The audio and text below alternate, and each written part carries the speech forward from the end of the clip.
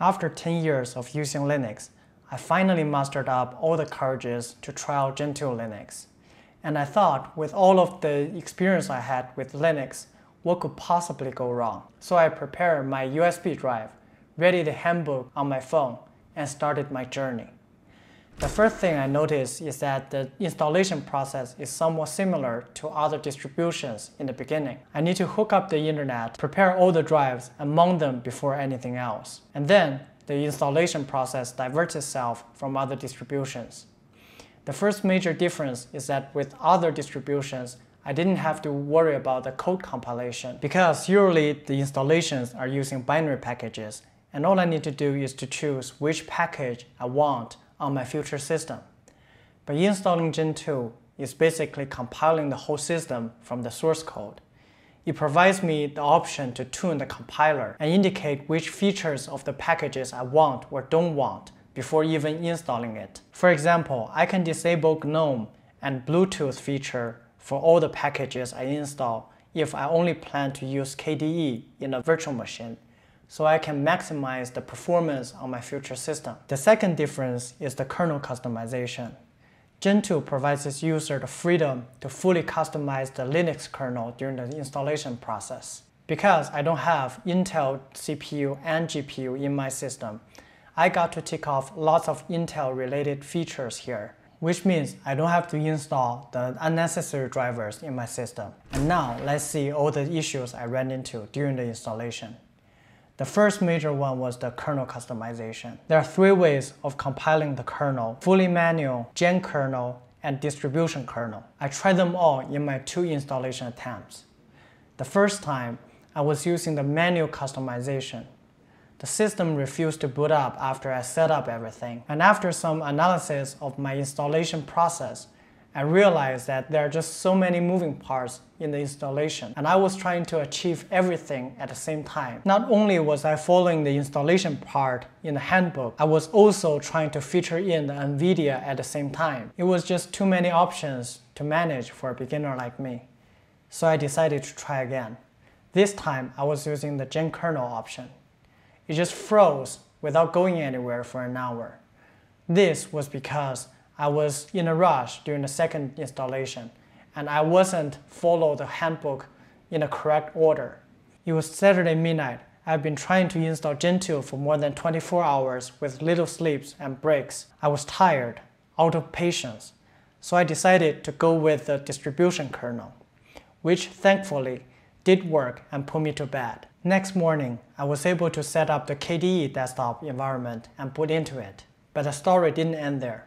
First, I noticed there's no internet connection after the boot up because my laptop doesn't have an Ethernet port, so I installed the WPA supplicants while following the installation handbook. But the issue here is that the handbook does not mention that in order to connect to Wi-Fi, additional configuration is needed. It took me a while to figure that out. Then I move on to fixing the sound issue by adding the PulseAudio to the compiler flag, only to find out the graphic interface stopped working after the reboot, which means the KDE interface we saw here was the only time I was able to use a graphical interface throughout my weekend, with a lot of unsuccessful compilation after that at 5.30 p.m. Sunday afternoon, 48 hours since my first installation attempt, I officially declared my first defeat to Gentoo Linux. But I'm glad I gave it a try because I've learned a lot of new things about Linux during these two days. So these are the suggestions I can give for the new beginners who wants to try Gentoo Linux. First,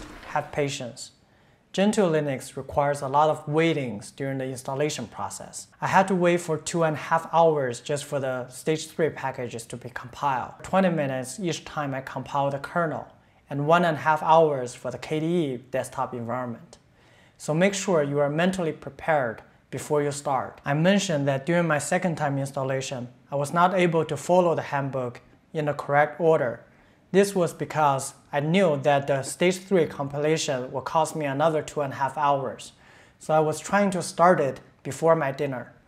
I was rushed into things and missing steps here and there, and it ended up costing me more time just to jump back and forth to fix things.